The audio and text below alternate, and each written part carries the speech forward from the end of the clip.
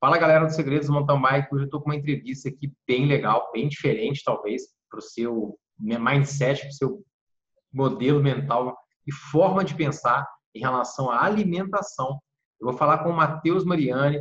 O Matheus é responsável pela alimentação estratégica, que é o nome que o Hugo Prado Neto, né, o CEO da OCE, Treine.net, é um atleta profissional há 20 anos, um atleta que está há 15 anos aí performando na ponta da pirâmide de elite do mountain bike nacional. E falar do Prado Neto é falar em coisas naturais, em alimentação é, natural. E eu conheço tanto o trabalho do Matheus, que vai falar para a gente, quanto do Hugo. Então, aproveita muito essa entrevista aqui, porque eu tenho certeza que vai agregar muito valor para você, tá certo? Pega lá o seu alimento e talvez o alimento que você vai pegar agora não é bem o que ele vai falar na entrevista, mas de qualquer forma, se liga aí que tem certeza que vai agregar muito valor nutricional para você. Deixa aqui seu like, seu comentário e muito importante você compartilhar essa mensagem, né, do estilo de vida, de uma alimentação mais saudável, não só para o esporte, mas para a vida de todo mundo nesse Brasil que está aí contaminado de má alimentação. O assunto hoje é alimentação estratégica. Eu estou aqui com o Matheus Mariani, da Alquimia da Saúde. E dá um alô para a galera aí, Matheus. E aí, pessoal, tudo bom? Satisfação estar tá aí com vocês aí. Pô, sensacional. Matheus, a gente estava conversando aqui agora, né, a respeito de, nossa, eu lembro de você há uns quase 10 anos atrás, mais ou menos, uns 8, Sim. 9 anos atrás, é, lá já parceiro da OCE, eu queria que você contasse para a gente, né, como é que foi essa história sua com a questão da alimentação, com a questão do esporte, da bicicleta. Eu lembro quando a, gente fez aquele training camp no Carnaval da OCS, você deu umas pedaladas com a galera também. Conta um pouco para a gente sobre isso. Então, Christian, na verdade a história da alimentação ela vem de família, né? É, meu pai é amante aí da, da gastronomia, da culinária, e aí isso desde pequeno eu cresci nesse ambiente, né, de alimentos, né? E aí até por esse, vamos dizer, excesso de comer, comer, comer, eu até na minha início de infância e pré-adolescência eu até desenvolvi quase uma obesidade, né? E então assim, o, a, o alimento ele sempre esteve muito presente na minha vida, né? Eu acabei me formando em administração e gastronomia. Fiquei bons anos aí na gastronomia, atuando com restaurantes, com buffet. E aí depois isso estava me trazendo uma certa insatisfação, cara, porque realmente eu via que o alimento, a forma que ele era preparado, ali atrás daquele backstage, cara, era tanto estresse, tanta tensão que ao mesmo tempo que, que né, esse quadro desenvolveu, depois eu consegui reverter ele, esse quadro de, de obesidade tal, na minha, na minha história, eu fiquei muito próximo né, a entender o que, que é realmente um alimento saudável né, e real. E aí isso começou a se cruzar de certa forma que eu comecei a ficar insatisfeito, cara. Eu comecei a ficar frustrado mesmo, sabe? E aí foi aí que mais ou menos nesse mesmo tempo apareceu o Ayurveda, né, na minha vida que é, hoje é a ciência que eu me baseio para tentar viver um pouco melhor e tentar buscar saúde e tentar também passar é, essa, esse conhecimento milenar para as pessoas, né?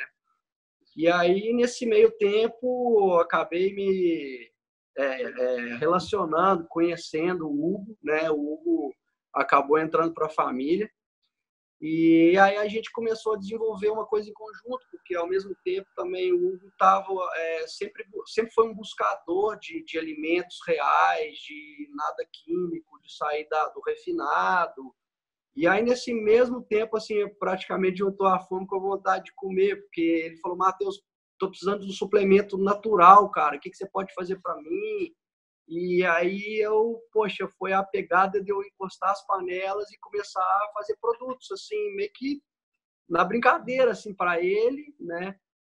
E aí a coisa foi ficando mais séria, cara. O negócio foi funcionando, as coisas foram acontecendo e, aí a gente está aqui hoje, a Alquimia da Saúde é, surgiu, né? E a pegada é sempre essa, tentar realmente trabalhar com produtos né, que entreguem saúde, que entreguem realmente essa palavra de forma verdadeira, né? Então, é um pouquinho assim, o resumo é, seria esse, assim. Pô, que legal, Matheus. Eu lembro que eu tive a oportunidade né, de assistir essa a palestra sua lá nesse camp da OCE e fiquei muito impressionado né, com a profundidade do seu conhecimento a respeito do valor nutricional dos alimentos. Queria que você falasse um pouco disso para a gente, falar um pouco também dessa questão né, da, da Ayurveda é, em relação às estações do ano, uma forma mais, mais, mais inteligente de se alimentar, mais estratégica, né, é, de, desse ponto de vista. Fala um pouco para a gente sobre isso, porque isso me chamou muita atenção. Eu lembro que você mostrou um slide e, poxa, toda matéria tem energia, tem vibração, né? E eu lembro de você mostrar um slide para gente que mostrava diferentes vibrações de alimentos, né, conforme, vamos dizer assim, o valor biológico, o valor nutricional dele. Fala um pouco para a gente isso aí, que é um assunto profundo, mas muito interessante. Joia. É, então, é, se a gente fosse, assim, se eu fosse resumir assim, o Ayurveda em poucas palavras, realmente é a gente pensar como engrenagens, né? Engrenagens até para a gente linkar a bicicleta. Imagina que são catracas, né? E a gente tem que trabalhar essas catracas de forma correta, né? Durante o ano, durante as estações. As estações são catracas na nossa vida, né? Nós somos uma catraca que interage com a catraca dia, noite, estação, climas, chuva, sol, né? Então, é a mesma forma que a gente está ali antes de um morrinho, que a gente tem que jogar uma levinha e já começar a girar e já ver que, né, pegar aquele leve, a gente precisa também de entender isso, é, é, que a vida é assim, né? O Ayurveda vê a vida dessa forma, né? Então, a gente não pode simplesmente, vamos puxar um exemplo claro, assim, clássico hoje, culpar o glúten, né? Assim, é, poxa, mas o glúten, historicamente, se a gente avalia o pão, se a gente avalia o glúten, ele sempre é, é, brotou e sempre teve em abundância na época do outono e do inverno. O glúten, ele é um agasalho né? Ele não é um cara mau, né? É, acontece que a gente come ele 365 dias por ano, né? Três vezes ao dia, e aí isso fica difícil só usar essa catraca, né? Então, essa interação é que realmente, eu acho que, a meu ver, eu sou suspeito para falar, mas enobrece muito esse lado do, que o Ayurveda traz, né? Que concilia essa, essa filosofia milenar e hoje me agrada muito cruzar muito a ciência moderna, entender também o que, a ciência fala sobre isso, né? Então, de certa forma, é, é, é, esse entendimento, né? São essas catracas. E quando a gente vai para essa parte de, de, energia, realmente é muito interessante. É, os óleos essenciais, né? Os óleos essenciais, eles ainda são pouco difundidos no Brasil, mas eles já vêm ganhando muita força ultimamente. Os óleos essenciais são praticamente... Imagina pegar uma, um monte, um punhado de alecrim e conseguir extrair dele o, o, sumo puro dele, né? Isso é o óleo, seria o óleo essencial da planta, que os estudiosos falam até que a alma da planta está no óleo essencial dela, né? Ali está todos os componentes dela. Então, é, um, um, americano ele conseguiu desenvolver uma máquina que media a energia, né? Desses desses óleos, né? E aí foi muito interessante a descoberta dele também. Essa máquina, na verdade, não foi criada para especificamente somente medir óleos, mas foi para entender a nossa energia, que a gente em estado de equilíbrio, a gente está em, em 72 Hz, né? Nesse, nessa onda de Hz. E quando a gente cai um pouco a nossa, por exemplo, imunidade, ou quando a gente está estressado, enfim, algum desarranjo, essa, essa, essa onda, essa frequência, ela baixa né?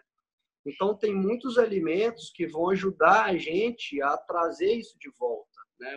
Os óleos essenciais são muito falados nesse quesito por ter é, tanta potência né? É, é, nessa vibração é, é, de, de, de, eletricidade, de energia mesmo. Né? E aí, se a gente pega, por exemplo, um alimento guardado na geladeira, de dois, três, quatro dias na geladeira, você vai ver que essa frequência ela está te puxando para baixo, ela está ela tá puxando sua bateria para baixo, né? Enlatados, enfim, essa história toda que a gente já sabe dos processados, né? Então, é mais ou menos por aí. Pô, que legal. É, eu tenho experiência né, de usar é, dois óleos essenciais que eu aprendi contigo lá, a hortelã, né, hortelã-pimenta. É, nossa, inclusive, né, umas gotinhas daquilo na, na água para pedalar, dá uma sensação de frescor, é, é muito bom, adoro.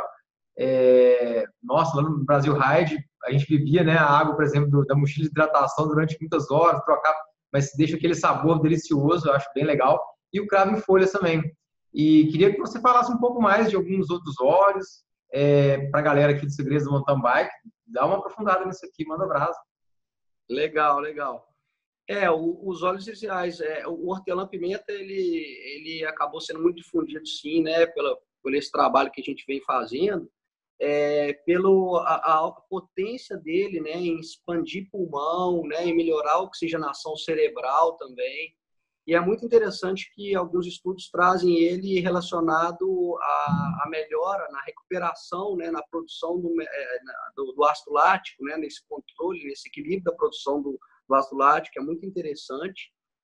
Cravo folhas também é muito interessante, porque é um óleo que a gente, basicamente, em resumo, para explicar ele, a gente precisa de algumas unidades de antioxidantes diárias. Né? A gente come isso através da nossa alimentação, a gente traz isso no dia a dia, para a gente ficar bem. Né? E, em média, seriam 5 mil unidades, né? É, é, em números aí. E o óleo essencial de cravo folhas, três gotinhas dele, ele já traz essas 5 mil unidades. Então, assim, é, a potência realmente desse, desses carinhas aí é incrível, assim, sabe? E para um atleta que está ali fazendo mais força do que o normal, isso é muito interessante. Claro que sempre, assim, é, não é a pílula mágica, ah, então vou tomar isso, acabou, né? A gente sabe... Não nem treinar, né? É, a gente tem que sempre lembrar dessas engrenagens, né? Saber que ele é um óleo também que ele tem um certo calor. Então, a gente sabendo que o igual vai sempre agravar o igual, né? A gente está no verão, que é uma estação quente, é, ter essa, essa, né, essa atenção, ter sempre parcimônia, né, respeito pelos alimentos nesse sentido. E quando a gente fala de outros óleos essenciais, a gente tem, vamos dizer assim, um kit básico, assim, eu diria um kit básico para uma pessoa, para um atleta principalmente, assim, falaria de mais dois óleos, né? É, do tree, né? O tree, ele é um óleo extremamente é, cicatrizante, por exemplo, pele, cortes, né?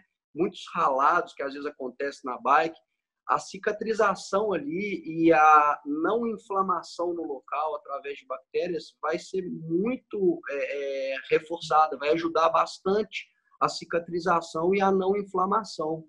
É, esse óleo, é, se consumido é, interno via oral, ele também trabalha muito imunidade é um óleo que deve ter, é, se ter também um certo cuidado, porque não é um óleo para a gente consumir é, diariamente, porque ele tem uma leve hepatotoxicidade. Então, a gente pode usar ele, tá gripado, toma baixa imunidade, ah, vou ficar aqui usando uns 5, 10 dias, usou, depois sai fora, né? Assim, eu gosto muito de interagir assim também, de, de conversar assim nesse sentido, né? Que a gente não precisa de ser escravo de um alimento para o resto da vida, né? Legal. É, essa interação eu acho que é muito importante. E o titri é um óleo fantástico, realmente acho que é um outro óleo que eu puxaria aí para um kit de, de, de primeiros socorros, né? Para uma farmacinha de casa também. E um outro óleo muito legal é a lavanda, né? A lavanda, ela é um óleo extremamente calmante, tranquilizante, é um óleo que, assim, para você dormir, você, você tem uma qualidade de sono muito maior consumindo a lavanda, né? A gente pode usar ela num difusor de ambiente, né? Pingar algumas gotas com um pouco de água, colocar num quarto, né? Naquele ambiente que você vai dormir e aí você vai ter um recover melhor, você vai ter um reparo melhor. É, eu gosto muito de, trabalhar essa história, né? Assim, pouco se fala, eu acho, ainda de recovery, né? Muito se fala, às vezes, de, de treinos, mas às vezes a recuperação para amanhã, eu acho que ela é muito importante, né, Cris? Então, eu acho que é um óleo também que eu indicaria, sabe? Assim, um óleo que tem, inclusive, alguns medicamentos alemães que tem óleo essencial na fórmula como tranquilizante. Então, realmente é um óleo muito potente. Pô, que legal. É, esqueci de falar, mas aqui em casa a gente usa lavanda de vez em quando, sim. É, até exatamente no quarto, né? A minha esposa ontem pingou umas gotinhas lá no travesseiro, por exemplo. É interessante. É Pô, sensacional. Legal. Massa. Matheus, fala um pouco pra gente agora, cara, sobre alimentos, né? Alimentos naturais que estão aí, frutas, é, sei lá, arroz, feijão, comida de verdade, vamos dizer assim. O que, que você vê? Como que você vê é, o encaixe desse tipo de alimento na vida do atleta? É, essa questão também do orgânico, como é que você vê essa, essa questão? Fala um pouco para gente disso aí. Legal, legal. É, puxando aí pelo orgânico já, então, assim, é o que eu, que eu costumo frisar muito, assim, a importância do orgânico, né? É claro que a gente não vai falar, ah, Christian, é, orgânico é bom porque não tem agrotóxico, né? Eu acho que a gente está já bem carimbado nisso, né? Acho que está todo mundo ligado nisso, né?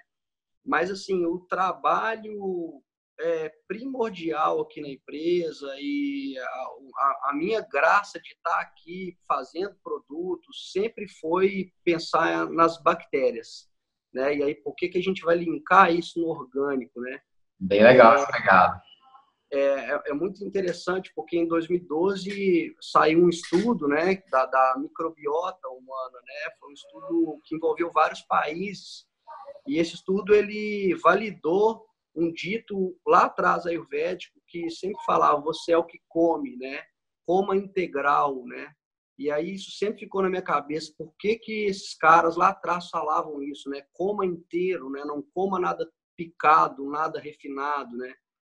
E aí a ciência vem e comprova que nós somos 90% constituídos de bactéria, né? Em contagem numérica no nosso organismo, 90% da nossa contagem são bactérias, somente 10% nós somos seres humanos. Então é uma coisa assim meio que inexplicável assim, né? Meio que meu Deus, como, como assim, né? E quando a gente leva isso para o orgânico, é, é, interessante que assim, quando o alimento ele é orgânico, ele foi intocado por agrotóxicos, logo ele não erradicou aquela colônia de bactérias que estava presente naquele alimento. Então, quando a gente come uma couve no suco verde orgânica, a gente está comendo não só a couve e os nutrientes da couve. A gente está comendo bactérias que promovem vício, que promovem saúde àquele alimento. Então, é extremamente importante, sabe, buscar comer orgânico e variar o cardápio. Né? Muitas vezes a gente come saudável, mas aí a gente come só certos tipos de bactérias, porque talvez eu não gosto de uma rúcula, porque às vezes eu prefiro só um alface, tomate e cenoura, né? E aí a gente deixa de consumir é, outros tipos de bactérias, né, que estão presentes em outros alimentos. Então, acho que diria assim que a, a, o ponto principal do orgânico seria esse, nem é tanto o agrotóxico, claro que é, mas assim, pensar num âmbito ter esse prisma de olhar para as bactérias, né? E quando a gente fala de alimentos gerais, assim, tem muitos alimentos, né? É, é, por exemplo, a beterraba que a gente lançou o nosso produto já há alguns anos e hoje ela está muito em alta, né? O consumo da beterraba, né? Por que é. consumir a beterraba, né? A beterraba ela é praticamente um doping natural, né? Porque quando a gente consome a beterraba, aquele processo digestório, né, a digestão da beterraba em si, ela produz o óxido nítrico. E o óxido nítrico ele vai fazer o oxigênio atingir melhor o, o músculo. Sim. Então a gente tem, é, consequentemente, uma respiração mais eficiente, né? E isso para o atleta é, né, é, é, sem dúvida, é muito importante. Então, assim, é, alimento, eu, eu acho que assim, é, se a gente para resumir, para ficar simples para o nosso né, ouvinte aí, eu acho que assim, coma com as estações, sabe? É, por que isso? Porque quando você está comendo com as estações, a, a, tecnologia da natureza, né, ela ensina que o que as bactérias que estão ali nos alimentos da época e os alimentos da época, eles já são o próprio antídoto para ajudar naquela época. Exemplo, muito calor agora no verão. Se você observar as frutas, o que, que acontece é, é, o nosso próprio desejo de comer, a gente quer comer coisas mais leves, de digestão mais fácil, né? Então, isso tudo é muito importante pensando naquelas catracas, né? São alimentos da época que eles vão refrescar esse calor. Então, agora tem muita maçã, tem muitos alimentos leves, alimentos que refrescam, né? Agora a gente vê muito coentro com facilidade, melão em abundância. São todos alimentos que refrescam, que de certa forma ajudam o organismo nessa, atravessar essa fase de verão, né? Então, Legal. eu acho que essa é, seria uma dica, assim, sabe? Como alimentos da época. Não pense o que você não pode comer, pense mais o que você deveria comer mais. Legal, seguir o instinto natural, né? A natureza está mostrando o caminho, né? É, exato. Pô, que legal. Ô, Matheus, é, ano passado, treinando para o Ride, eu lembro que aumentei muito meu volume de treino, né? E percebia que meu corpo começou a despertar uma necessidade de, de valor nutricional no alimento, sabe? Foi onde a gente entrou em contato, a gente fez aquela parceria que ainda continua e eu senti assim uma diferença enorme, sabe? Ao usar, né, os seus produtos tanto no pré-treino para fazer um shake pós-treino e percebi que de verdade a, a saciedade aumentava muito, né?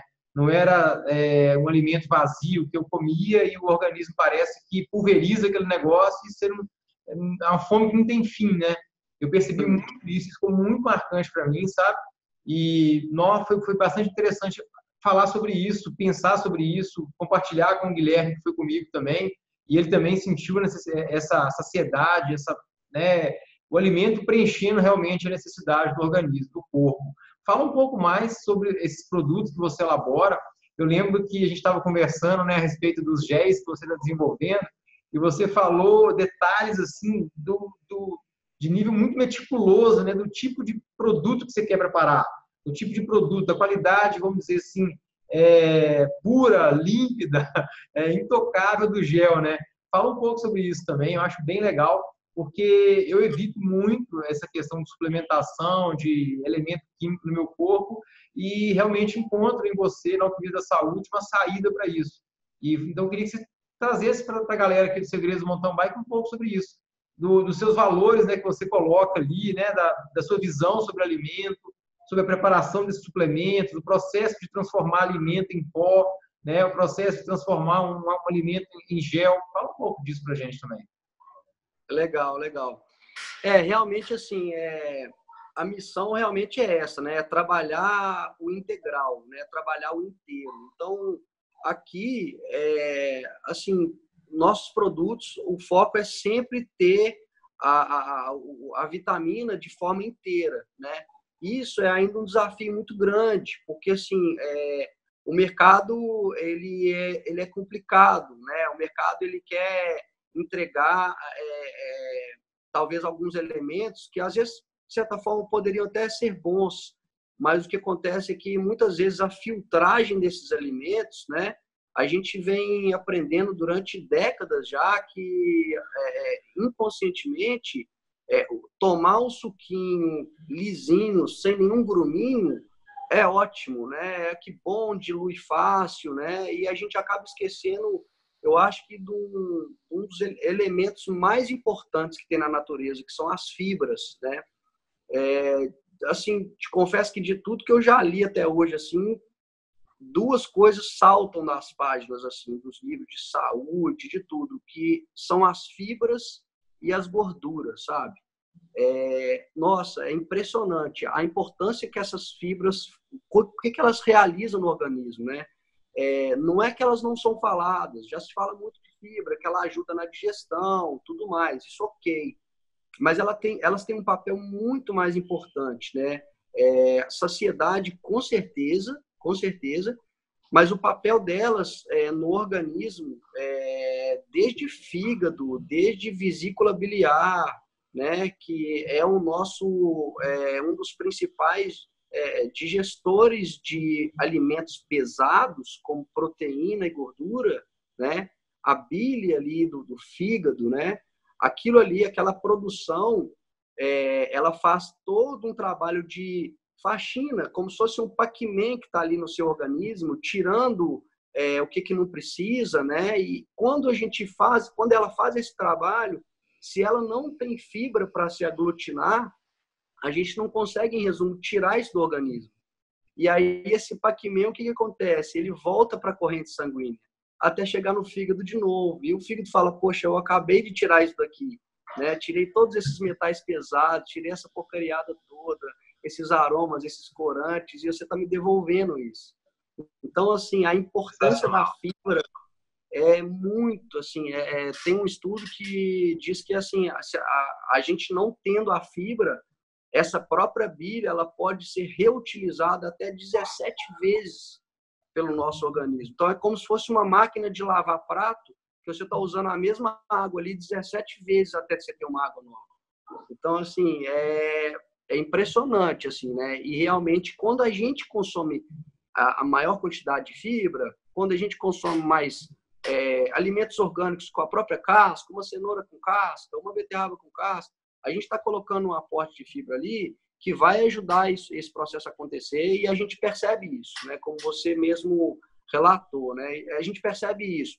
Às vezes pode ter um certo é, um certo estranhamento do organismo pela primeira semana, ou, às vezes uma sensação de um ajuste do organismo, mas depois de um tempo a gente vê que isso a gente ganha um avanço assim enorme. É, é não, não, tem precedentes em palavras assim realmente para falar assim.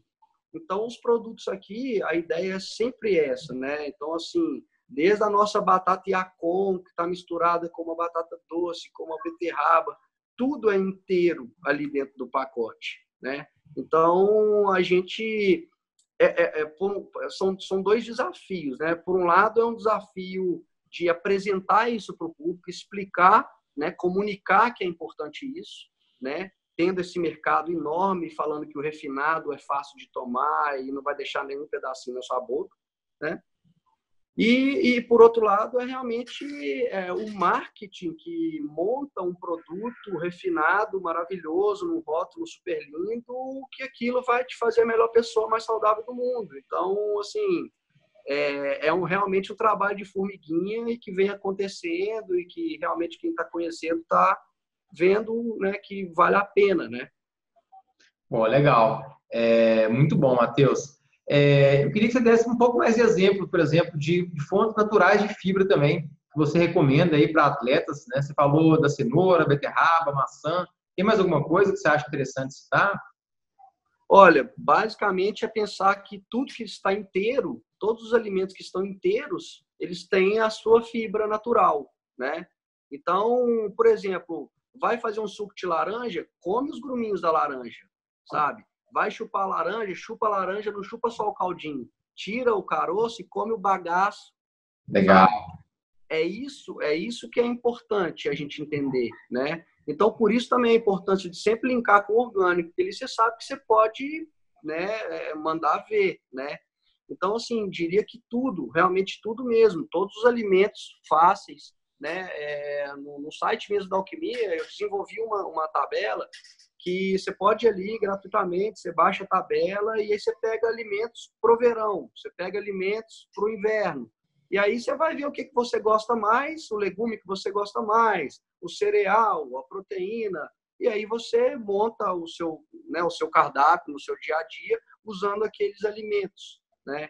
Então a gente vai, além de combinar essa parte da fibra, combinar também com as informações que aquele alimento traz, os sabores também, a importância dos sabores. E aí a gente também acaba avançando um pouco além de carboidrato, proteína e gordura, né? Porque se a gente faz só essa análise, vamos dizer, a meu ver, rasa do alimento, a gente não está entendendo a conversa daquele alimento, né? O que, que ele está querendo te entregar naquele momento, qual que é a engrenagem dele, né? Então, em resumo, é isso. É... Acho que é por aí. Pô, legal. Poxa, Matheus, foi incrível bater esse papo contigo aqui, cara. Quero te agradecer é... e queria te deixar esse espaço para você deixar uma mensagem final, também falar para a galera aqui, né, que está acompanhando essa entrevista interessantíssima, onde o pessoal encontra a Alquimia da Saúde, coloca aí suas redes sociais, seu site. É... eu sou né, um consumidor, um cliente seu há muitos, há muitos anos e super indico. E dá essa mensagem final aí, coloque aí onde o pessoal pode encontrar não só esses produtos, mas como você também. Legal, legal. É, então, a Alquimia hoje a gente atende o Brasil todo através da nossa loja, né, o e-commerce. Então, você pode entrar direto no site, fazer seu pedido, né? É, já temos lojas também, principalmente em Minas, Belo Horizonte, né? É, por eu ser mineiro, né? A fábrica hoje está aqui em Santa Catarina, mas hoje a gente tem já uma gama boa de, de lojas é, em, em Belo Horizonte, que você acha isso. A gente tem a loja Conceito nossa também lá dentro da Power Cycle, lá no Luxemburgo, né, em Belo Horizonte. A gente está lá ao lado da OCE com a nossa loja Conceito. O Guilherme está lá também para esclarecer todas as dúvidas, também pelo Instagram nosso. E também se você também às vezes tiver algum lojista, alguma coisa e tenha a necessidade perto da sua casa, também pode entrar em contato com a gente, a gente faz contato com esse lojista, né? Mas hoje, basicamente, a gente atende o Brasil todo até a porta da sua casa. Pô, legal. O site é alquimiadasaude.com? Isso, alquimiadasaude.com tem tanto .com e tanto .com.br. É o .com com algumas informações, né, com o nosso histórico, e o .br simplesmente a loja. Né? Então, por esses dois caminhos, você consegue encontrar os produtos. Ah, legal, Matheus. Pô, te agradecer aqui a dedicação nesse tempo aqui, né, comigo, com a galera aqui do Segredos do Mountain Bike. Espero que você volte mais vezes, que eu possa assistir mais palestras suas também. Vem aqui para Minas ensinar a gente a viver melhor, alimentar melhor. E é isso. Muito obrigado de verdade. E fica aqui esse espaço para você dar um tchau para a galera. Joia demais, Cris. Eu que agradeço aí, satisfação de estar aí participando do, do seu programa aí, do seu espaço. É, mandar um abração pro pessoal, comam alimentos da época e sejam felizes. Massa. Valeu. Tchau, tchau. Valeu. Tchau, tchau.